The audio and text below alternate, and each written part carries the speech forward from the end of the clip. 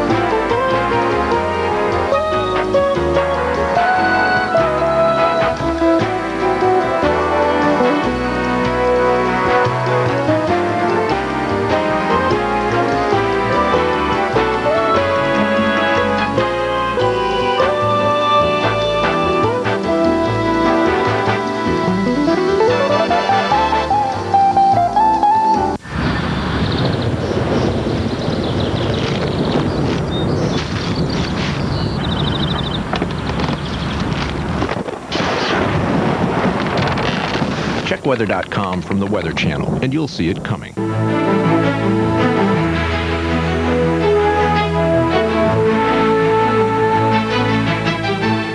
Snow and a wintry mix of a lot of freezing rain and just real sloppy conditions still coming down in parts of the east.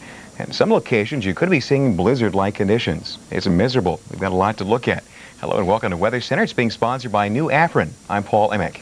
And I'm Will Lannon. Thanks for joining us here this evening. A new winter storm is forming and will bring many of you trouble later in the week. Those details are coming up in just a few minutes. But first, tonight's wintry weather. Look at this. The people of Raleigh, Durham are still digging out from their record snow. More than 20 inches of snow is measured at the airport. And officials say the airport will not reopen until Thursday. Tens of thousands of people are without power, and Governor Jim Hunt has declared a state of emergency for North Carolina. Well, we'll check on the current scene right now. We're looking at some freezing rain coming on down for you folks around Boston, Mass. Still some light snow in and around the New York City area. And the big storm still beginning to wind on up and beginning the cruise on northward. This will blanket just about all of central and northern parts of New England with some very, very heavy snowfall north of Boston from this point forward to at least the early morning hours. Now, snowfall amounts have been tremendous. Again, where you see the lighter purple, at least 6 to 12 inches of snowfall. The darker shades of purple, at least a foot of snowfall. In some cases, two feet. And the list goes on all the way from Raleigh-Durham on down towards Washington, D.C. Take a look at some of these scenes right now in and around the Washington area. Again, we saw some very slick conditions. It is the worst snowstorm in Washington, D.C. in four years. Driving on city streets convinced city and federal governments officials to close for the day. That decision meant less traffic, but driving and walking were treacherous. Federal government is expected to be open for business during the day on Wednesday. Let's check on some of those amounts again with the snowfall. These are some of the numbers. Raleigh-Durham, your record-setting snow, 20 inches the Washington and also the Baltimore, Maryland area between 14 and about 18. Willow Grove, Pennsylvania, 11. Central Park in New York City, 4.5. Bedford, Mass, 5. And right around Boston, Mass, 4. And you are now looking at some freezing rain. And for Boston, Mass at this hour, 32 degrees. Freezing rain is coming on down.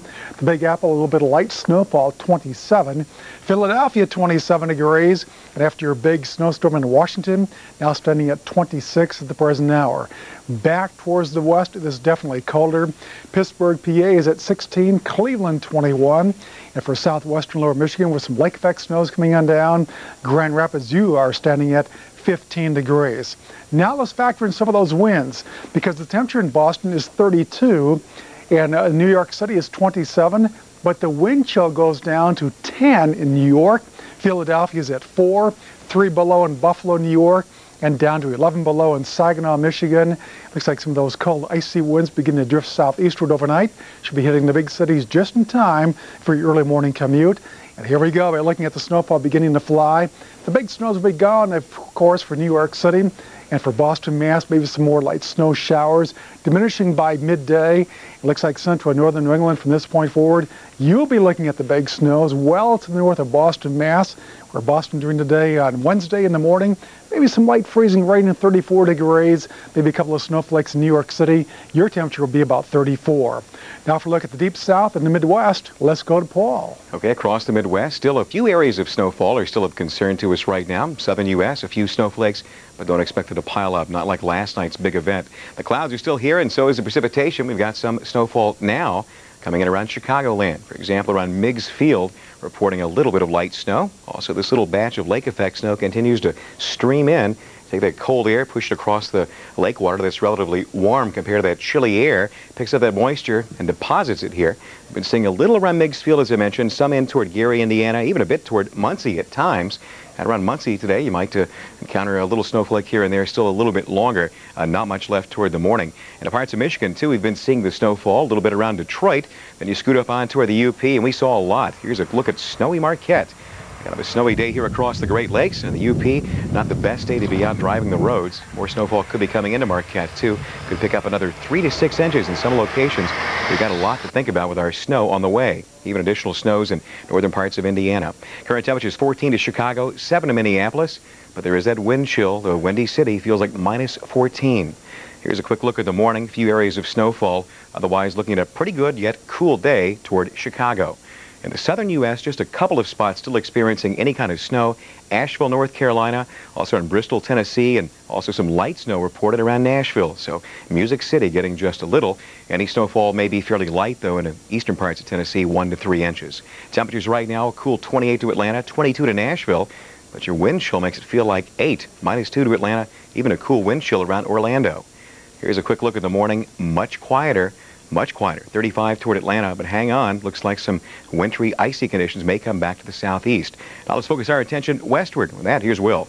And Paul, we'll check on our western system because we're looking at a lot of moisture still beginning to streak across Southern California. The big rain's done for Los Angeles and most of Southern California, but that moisture is definitely on the move during the next 24 hours, invading much of the southern plains and the state of Texas. And you folks around Dallas, Wichita Falls, even around Oklahoma City, freezing rain or snow or a combination of the two could be on the way by late tomorrow night and also early on Thursday morning. Winter storm watches are already flying now for extreme northern Texas and much of central and southern Oklahoma towards Little Rock, Arkansas. Let's see what's going to be happening now throughout the west. You've got a little bit of rainfall still lingering in the LA basin, but the bulk of the big rains are gone. This was the scene earlier on, by the way, in and around Los Angeles, California. Checking some of these scenes. We're again, you've had a very dry winter in Southern California until now. Today you had light rain off and on. It was a welcome uh, rain in many of the dry areas of the city. And outside of Los Angeles there were even some concerns about some flooding. Of course, the big time rains are gone. We'll look at the temperatures now, still holding in the 50s. The bulk of the rainfall from this point forward begins to scoot eastward across parts of Arizona, with snow still flying in the Colorado Rockies and parts of the northern Rockies too. But overall, we're looking at the decrease of rainfall and snow throughout central and southern California. That's the forecast now as you take a look at the next 24 hours. We'll follow our southwestern storm. It begins to invade the southern plains and Texas. That orange you see on the weather map by midday and beyond, it could be some freezing rain beginning to break out in and around the Dallas area, but around Denver, Colorado, some light snow. Your forecast about 35. Now, if we look at your national forecast, we go back to Paul. Okay, in the interior west, we will see some additional snowfall for the morning hours, the midday, and beyond. Watch the track of this system. Could see freezing rain through Texas, parts of New Mexico, and then eventually on toward the southern U.S. Then another system very similar in a few more days. We'll look at that coming up in the weekend outlook. For the Northeast, no relief just yet. Still some snowfall continues. We'll still see some light snow toward New York City and Boston. Western parts of the state, we'll see more of it around Buffalo, too. Maybe a few flakes near the mid-Atlantic into our evening. Otherwise, the continued march of this system may make it slippery in big portions of Texas. Between now and mid-morning, fairly light precip for the west, except for some high elevation snow, but a lot of snow in the parts of Vermont, New Hampshire, and Maine could easily exceed the 6 to 12 inch range. Here's a look at our overnight lows. Pretty chilly across the Great Lakes and Look at high temperatures here for our Wednesday. Quick look at the northeast. Looks a bit on the flaky side most locations. Quite a chill for the southern U.S. Getting icy into Texas and Oklahoma. Midwest, uh, some snowflakes here too. And still wet and wintry across the interior west. Stick around, yet to come. Some travel headaches in the southeast and also the northeastern part of the country tomorrow morning. Look at that next and travel-wise right after your local forecast.